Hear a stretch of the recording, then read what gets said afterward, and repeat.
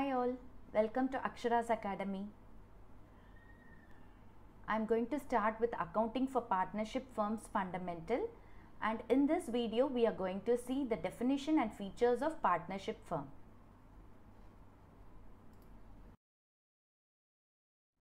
Now let's see the meaning of partnership firm. Before that let's just recap what is sole proprietorship. So sole proprietorship is where there will be one individual who will invest capital in the business and he will carry out the business activities. He is the only owner of the business as well as he will have the control over the business activities. Also in accounts you would have prepared the accounts of a sole proprietorship. Okay.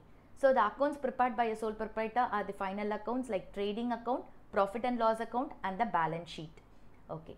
Now in this class we are going to study about partnership. What is partnership?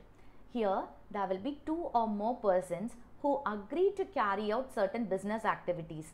Okay, they decide to carry some business activity and each of the partners they will invest capital inside the business and carry out the business. So whatever profit they earn that will be divided among all these partners. Okay, this is called a partnership firm.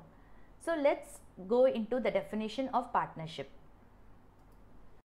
Here you can see four persons who are going to start a business firm. They are going to do some business activity and uh, each of them are going to contribute a capital towards the business. These persons are known as the partners and these partners they have agreed to share the profits and losses arising from the business.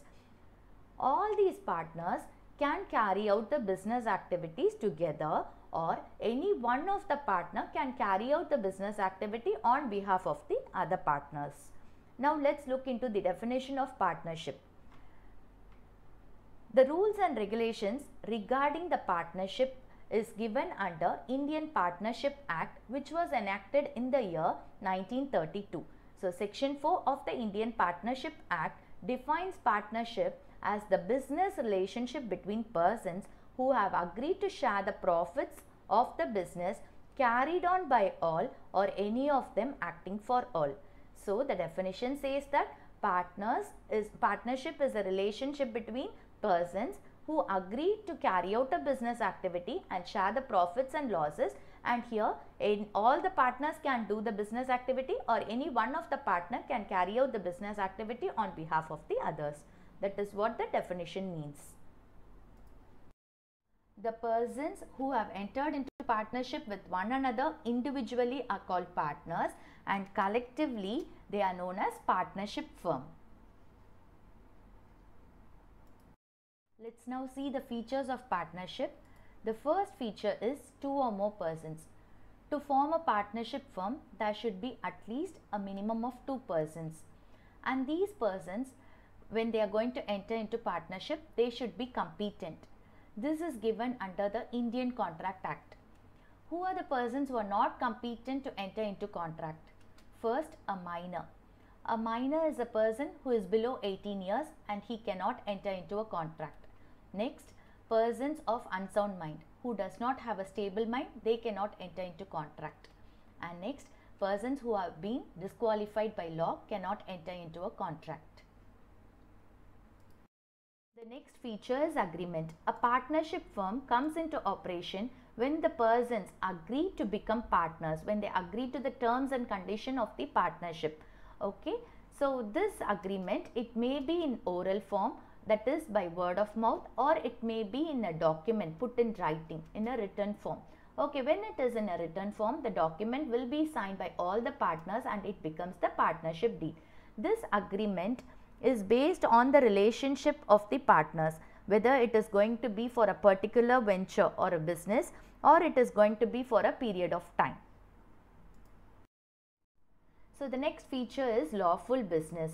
A partnership firm should be started to carry out a legal activity. So the partners they should do a business which is lawful and business it includes any trade, occasion and profession. Through business, these partners should earn profit and it should not be any non-profit organization where they will only serve the society and its members but they will not earn any profit.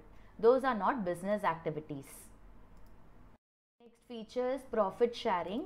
The partners, they agree to share the profits and losses arising from the business. This we have seen the definition also.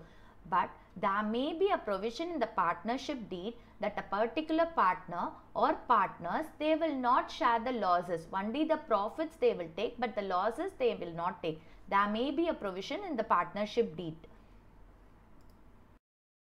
Next feature is business can be carried on by all or any of the partners acting for all.